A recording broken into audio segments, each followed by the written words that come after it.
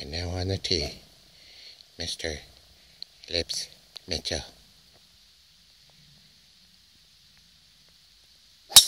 Oh, you cocksucker. And that, that was a beautiful, beautiful shot, but he just, he almost hit somebody, that's all. Oh, I think he hit him.